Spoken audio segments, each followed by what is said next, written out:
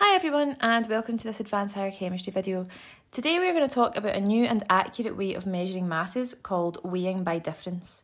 So you'll all have already used balances for experiments in the past, but we are now at a stage where accuracy in our measurements is very important.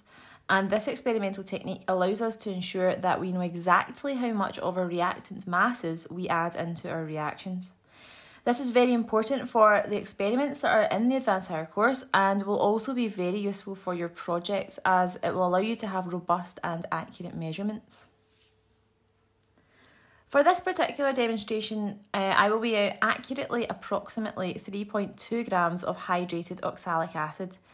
But before I go any further, what on earth do I mean by accurately approximately?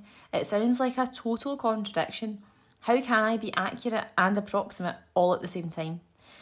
Simply put, to weigh accurately approximately means that I want to use around 3.2 grams, so that would be the approximate part.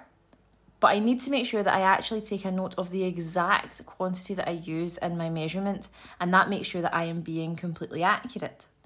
For instance, if I want to use 3.2 grams, I might end up using 3.21 grams, or I might end up using 3.19 grams. Both of those are approximately 3.2, but as long as I write down the exact value, then I can do accurate calculations using those values.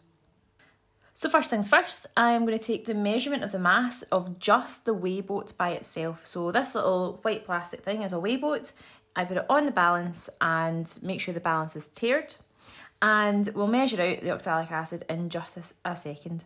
So when I say that I want to make sure the balance is tared, I'm going to make sure that the balance reading is at zero before I put this plastic weigh boat on. I'm then going to take a note of the weigh boat's mass. So you could tare the balance after you put the weigh boat on, and then it would be at zero when the weigh boat is there, and you would have the mass of oxalic acid.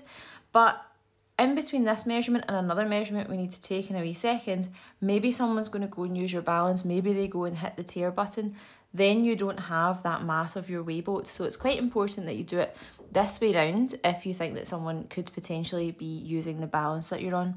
Um, and then you know it doesn't matter if they do because you know exactly how much that weigh boat actually weighs. So looking at this, just weighing the weigh boat, it comes in at 1.08 grams. Now, you want to give the balance a little second just to make sure that it's settled. And if you're leaning on the worktop sometimes, sometimes it'll affect the, the reading, just a wee bit of pressure next to it. And there you can see it's just changed just as I went to write down uh, 1.08. So it's gone back down again, comes back up. We'll just wait for a second, but it does seem to be staying now at 1.09 grams. So that is the mass I'm going to put down of my empty weigh boat. Now, if I want to get to 3.2 grams of my hydrated oxalic acid, then 3.2 plus 1.09 is going to take me to 4.29 grams.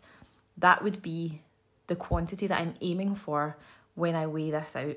So I'll add a few spatula fills and you can see that after adding just a few, I've gone a little bit too far.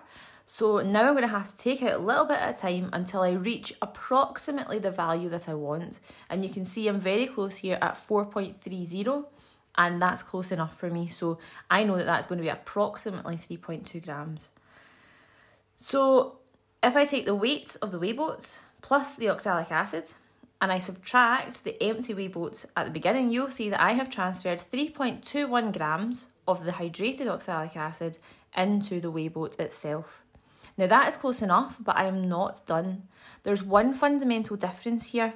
I am going to transfer the oxalic acid into an empty beaker and I am not going to rinse the weigh boat.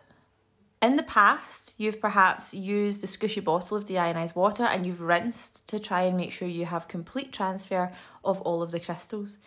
But it's quite important here. There are still some tiny crystals of oxalic acid on the weigh boat now that I've tipped it in.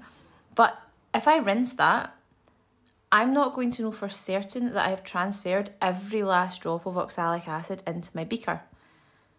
So I want to make sure that I'm being 100% accurate with the quantity that has actually been transferred. So what I'm going to do is I'm going to pop this weigh boat back onto the balance and take a new reading. So if I take a new reading, I'll be able to see if there's anything left over. So if I take the mass of the weigh boat with the oxalic acid in it, which was at what 4.30 grams.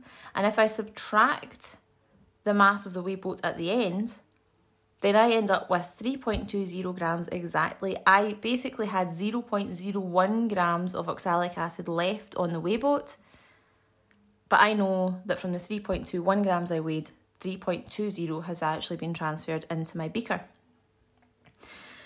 And that's it. That is the the way that we would accurately approximately measure a mass in advanced higher chemistry. So anytime you're looking at reactant masses now, we need to be this accurate. We need to have an idea of what my weigh boat actually weighs, what it is, including the substance I'm weighing, and then have a way to measure how much has been left behind.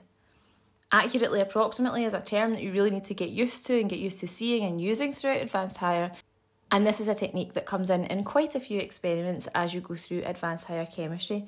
Now, if you want to know what I'm going to do with this oxalic acid, then I suggest you tune into my next video, which is going to look at making a standard solution. Now, again, we've been looking at standard solutions all through from National 5 to higher. There's a little bit more theory about the standard solution, about primary standards and things. So, in order to see that, tune into my next video, and I will see you in the next one.